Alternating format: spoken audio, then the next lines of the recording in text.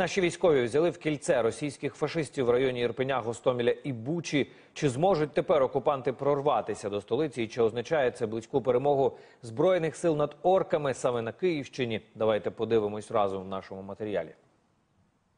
З перших днів війни Ірпінь, Гостомель та Буча стали епіцентром бойових дій. Через ці населені пункти окупанти сподівалися швидко захопити Київ. Але тепер самі орки, які засіли в цих містах, опинилися в так званому котлі. Про це спочатку повідомили у Бучацькій міськраді, а потім і військові журналісти. За їх даними, українські військові повністю відрізали окупантів від постачання в трикутнику смерті Бородянка, Ірпінь, Макарів. Показує перевагу наших військових, наших талановитих полководців, наших солдатів, які готові захищати нашу Україну і громити окупанта. І попри те, що офіційного підтвердження інформації щодо облоги ворога поки немає, експерти вже викладають подробиці. Так, політтехнолог Тарас Березовець розповів, операцію розробив генштаб ЗСУ. Підготовка тривала упродовж тижня, тому все було під грифом таємно. Тепер в оточенні нашої армії опинились кілька тисяч російських військових. Это одна из самых боеспособных группировок с огромным количеством вооружения.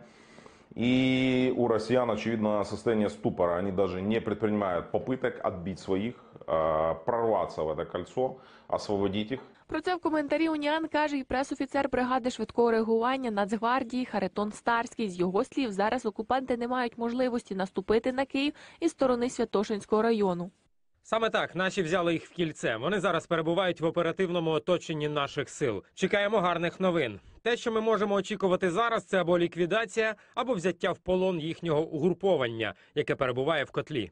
Більше того, російські війська вкотре доводять, що вони далеко не друга армія світу, деморалізовані та не хочуть воювати. Тому більшість карателів, які опинилися в оточенні, можуть здатися в полон або будуть знищені до останнього. Я далекий від думки, що вони будуть на саме знищення вести там битву до останнього, як то кажуть, патрону. Проте військовий експерт не виключає. Серед них будуть і ті, хто подібно щурам загнаним в куток стануть більш агресивними. І тут є небезпека насамперед для цивільного населення. Я впевнений, що там знайдуться е, такі, знаєте, маразматики, які може захочуть прориватися це кільце. Це буде спровокує до бойових штовхнень, буде страждати мирне населення, будуть горіти домівки наші українські. Розумієте? От. Але якщо там частина здасться в полон, то це буде дуже знамените.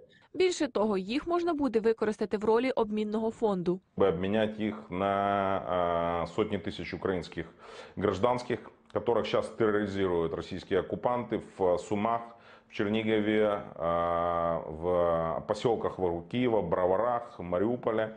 Иным, иными словами, это впечатляющая победа и настоящая холодная месть от вооруженных сил Украины за Дебальцево, за Иловайск. Але вже зараз можна без сумніву говорити про успіхи ЗСУ. Те, що армії вдалося оточити ворога, завдасть повного психологічно-морального удару по всій російській армії, кажуть експерти. А ще матиме позитивні наслідки на міжнародній арені. Але нашим воїнам треба ще багато сил, аби остаточно дати відсіч. Борки досі тримають в окупації не одне селище та містечко.